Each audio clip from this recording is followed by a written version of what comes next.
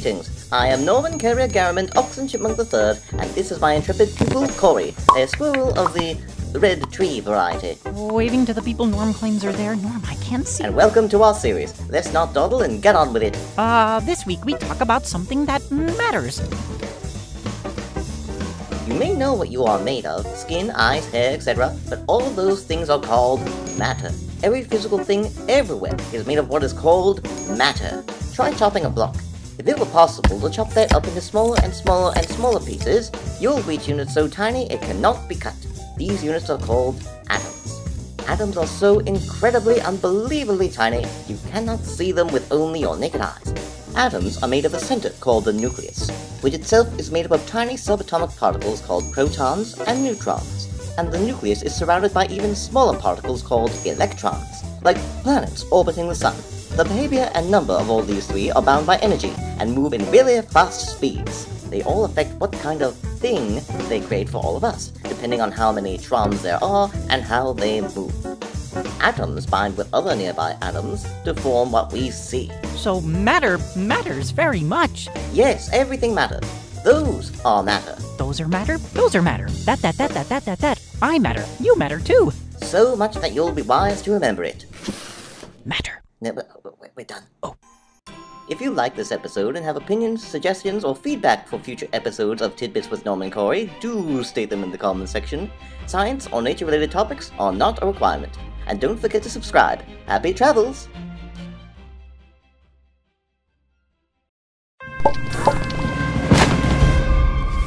Norm, I just sneezed. Got any plants around with wide leaves I can use to wipe? I say, Cory, do you know why plants are so important? They make my nose not annoying? Just as you breathe in the oxygen that your body needs and breathe out the carbon dioxide that's bad for us, plants are the reverse. They take in the carbon dioxide from the air and breathe out the oxygen we need in a process called photosynthesis. Photosynthesis. Synthesis. Protosynthesis. Photo. Synth- Photosynthesis is a complex process that could admittedly get confusing to newcomers. For today, let's simplify. Plant cells contain pigment molecules known as chlorophyll that catch sunlight for energy, and as a side note, give the plant its green color. The plant uses this energy to break off carbon atoms from the carbon dioxide molecules and bond them to hydrogen atoms it takes from water molecules to make sugar for the plant, so it can keep growing. And the oxygen is released back into the air. The more plants around, the healthier everything around it becomes. And that is why all plants are so important. Ah, hey tree, here's some Carson Daily Oxide. If you like this episode and have opinions, suggestions, or feedback for future episodes of Tidbits with Norm and Cory, do state them in the comment section. Science or nature-related topics are not a requirement. Interested in more detailed explanations for the intricate processes in photosynthesis? You may continue researching any of the above terms covered just now. And don't forget to subscribe. Happy travels!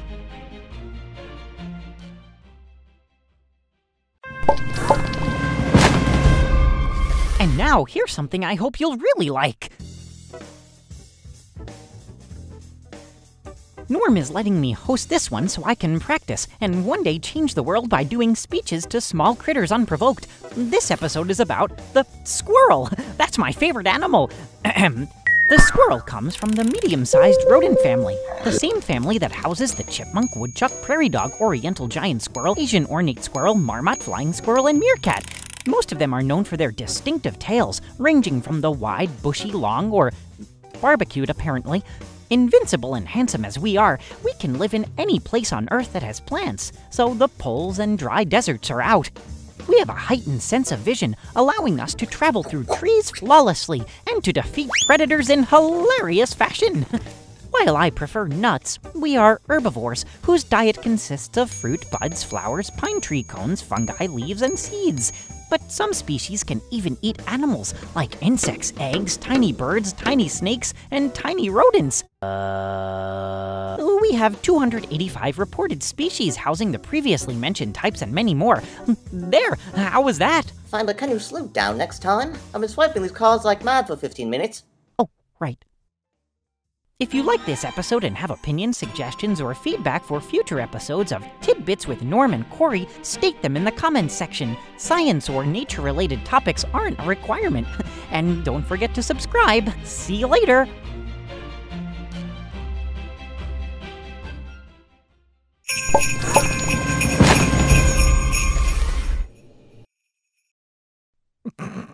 Just roll it. Mostly associated with bears, hibernation is a state of decreased biological processes in response to lowering ambient temperature when nutrients or energy isn't as readily available as it was during the warmer seasons. If some animals do not hibernate, they won't survive the winter. Usually this includes storing or stuffing themselves on food in the fall, their body temperature lowers, heart rate slow down, and they don't really sleep so much as they lay dormant for days, weeks, or months. The way animals hibernate varies through species. For example, chipmunks need to wake up every few days when they're hungry, or need to take care of business, after which they promptly return back to sleep. Red squirrels do not hibernate, but just bide their time in the den. You did try to hibernate a year ago. No, that was last night. Wake up, feet! Happy holidays, everyone. If you like this episode and have opinions, suggestions, or feedback for future episodes of Tidbits with Norm and Cory, do state them in the comments section. Science or nature-related topics are not a requirement. And don't forget to subscribe. Happy travels!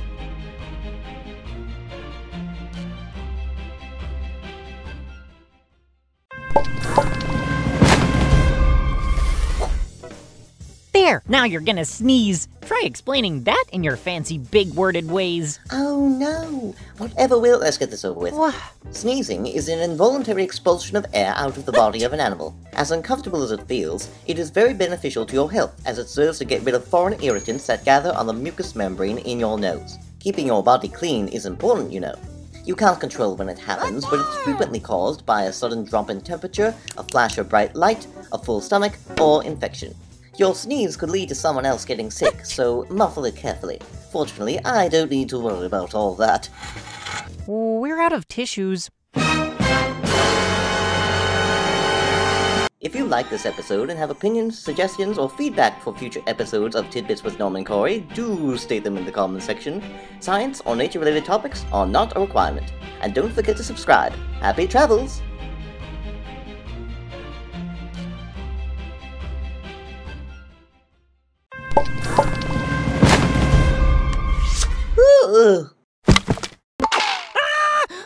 The moon! According to a book I read, the moon isn't really an evil ape rabbit hooligan who wants to cover your house with sand if you stay up too late. Actually, it's an illusion. The moon orbits the Earth, which both move in a larger orbit around the sun counterclockwise. Where the moon is in relation to the sun results in the moon's shadow appearing to move across it from our perspective on Earth. To demonstrate. Whoa. The shadow always moves around the moon from right to left over the course of approximately 29.53 days, after which the pattern repeats. A month lasts 30.44 on average. And, in fact, that is exactly where the idea of the month was born. The words moon and month originated from the same meaning. It's where humans first learned to keep track of the changing year. Whoa. If you like this episode and have opinions, suggestions, or feedback for future episodes of Tidbits with Norm and Cory, do state them in the comments section. Science or nature-related topics are not a requirement. And don't forget to subscribe. Happy travels!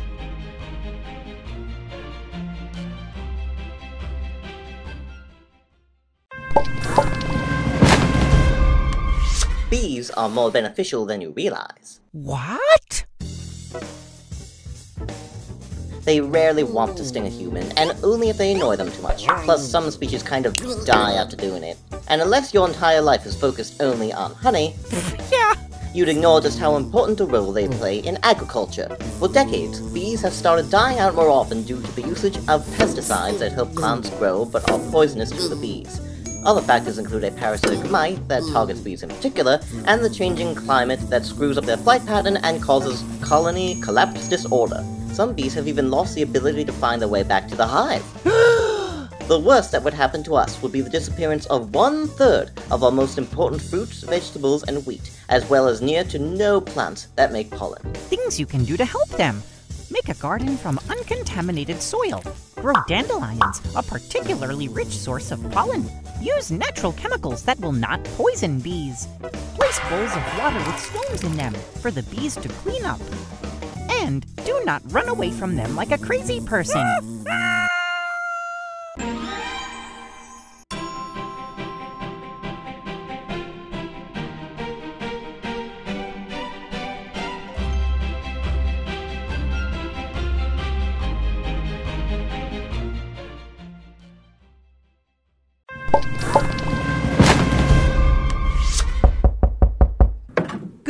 sir. Would you accept this book of sparrow hygiene from my best pal? Oh, by nature. I take a nap at this time. You should know that by now. Stop knocking up against my trunk.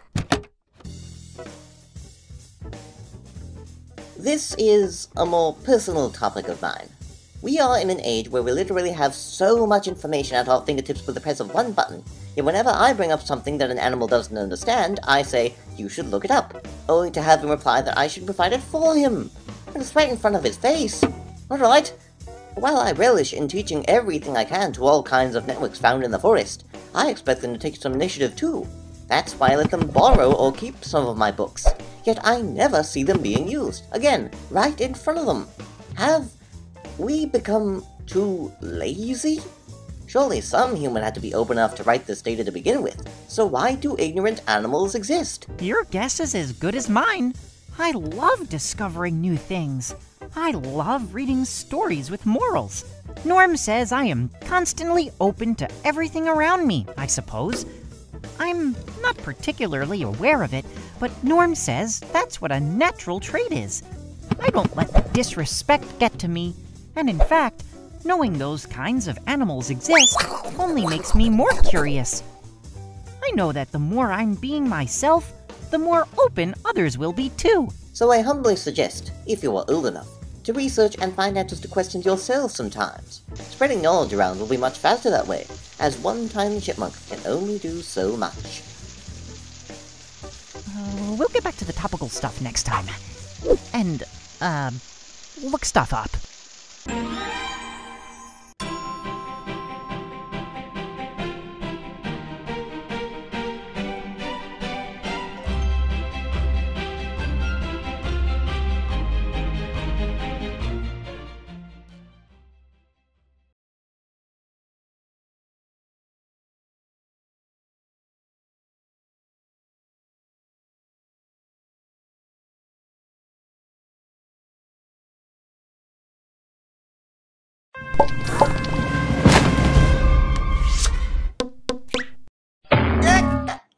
I wonder if nerve endings in a chipmunk body are the same as in a red squirrel body. Oh, Mother Nature, I am in agony! Scientific method. Banded! We know so much about the world through the common process codified in the 17th century and developed through the years called the scientific method. Generally, it consists of these steps. 1. When you are curious about something, form a question. Then you propose a hypothesis, a guess that be proven true or false. 3. You make a prediction about the results of a test. Experiment. This is where you take action. Gather the information, the supplies, environment, and conditions needed to determine whether the world behaves like your hypothesis. Analysis. Determine what your results show and what action to take next. Notice how the scientific method does not give you a clear answer to your question. That's because all questions lead to new processes that itself repeats over and over and over again. Because we are all curious to know more about the future. What happens if I pour this unknown substance into this other unknown substance? My No! hypothesis. Let's do another hypothesis.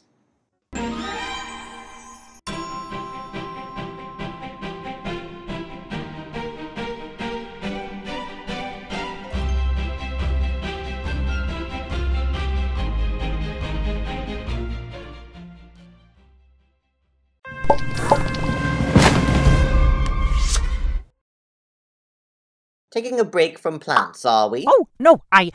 This was already dead when I found it. Oh, that doesn't matter. We are all part of the food chain anyway. Sorry? Energy comes and goes through all living things so they can survive, but they all process it through each other. These connections are recorded on a food chain. A chain starts with either sunlight or hot deep sea vents, then goes to plant life, then to animals who eat them, like squirrels and birds, and ends with the apex predator species, like eagles and bears, that have no known enemies. An immense amount of chains all work in relation to one another in a food web. When an animal dies, they are absorbed by detritivores, like earthworms, and decomposers that recycle them into new earth material. Any animals could have several chains branching from underneath them, and and can also be prey to those who can eat them. Yeah, I'm a prey.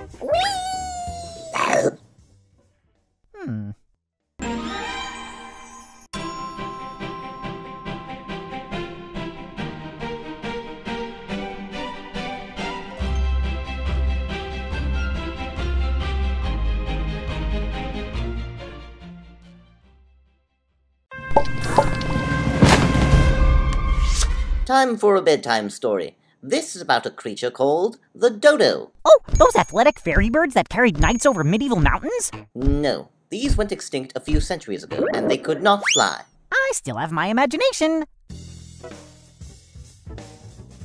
They are the most popular extinct animal in modern times, attributed to their somewhat weird appearance, alarmingly swift and mysterious disappearance, and isolated location. The general idea is that they were dim-witted, overweight, and clumsy. Uh, I like turtles. But reports actually say they had quick reflexes and were nowhere near as fat. Their inability to fly, along with there being no predators on the island, meant they didn't run when humans came in the 17th century. Hi. Humans brought over other animals that became their predators, cleared out their forests, and hunted them down for their feathers. It's said that dodos were endangered even before the first recorded sighting of one, as fossils indicate they were victim of a flash flood that preceded it. Aw, that didn't calm me down, did it? Here, have a new storybook. Good night. Thanks.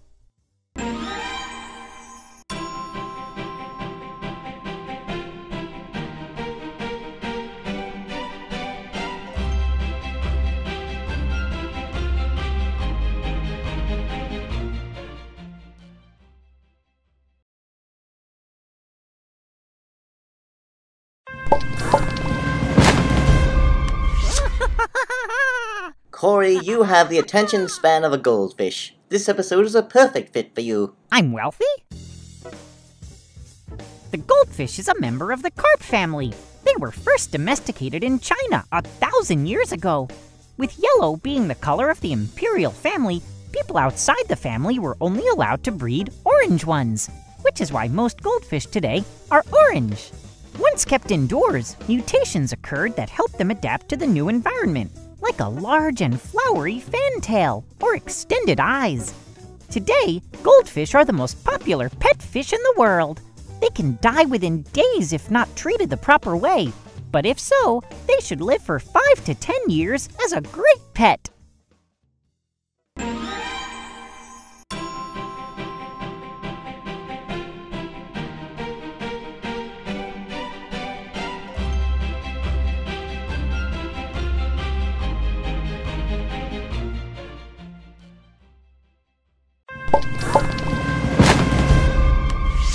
You all know me as an esteemed scholar with a wealth of knowledge about all subjects. However, I'm also a chipmunk. Let's roll it. Number 5. From the first episode, Matter and Atoms, atoms do not look like that. That's an old model called the Rutherford model. It's actually hard to show what they really look like because they're so small, but we do know from modern technology that they look like a tiny cloud. A good way to visualize what's going on inside them is like this, with electrons spinning around the nucleus in orbits orbiting around the center like planets and the suns. This is called the Bohr model. The number of electrons and protons are equal in number on a stable atom. Number 4. From the same episode, atoms actually can be split into smaller particles that they're made of, electrons, protons, and neutrons, and even those can be split into smaller particles yet. There is a lot of energy keeping these particles together, so much that nuclear explosions are even created by breaking apart bigger atoms in a very specific way. The idea that atoms being the smallest uncuttable level of everything has been outdated for the past century or so. Number 3. From the seventh episode, I say that pesticides kill bees and help plants grow. Bees are essential to the pollination of many plants that produce the food you eat, and actually, many pesticides also kill plants. These pesticides can stay in the ground for a long time and run off into rivers getting in the water supply, so use pesticides carefully. Number 2.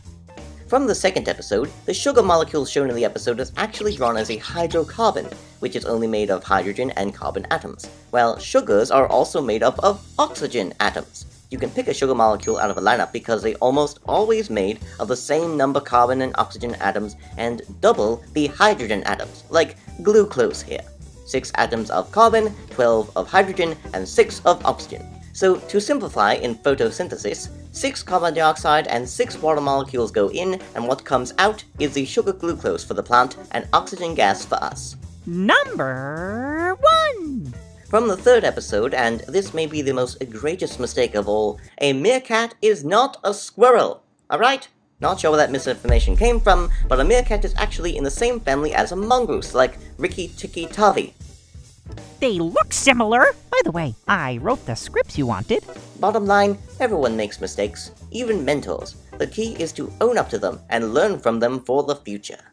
Thank you for watching, everyone.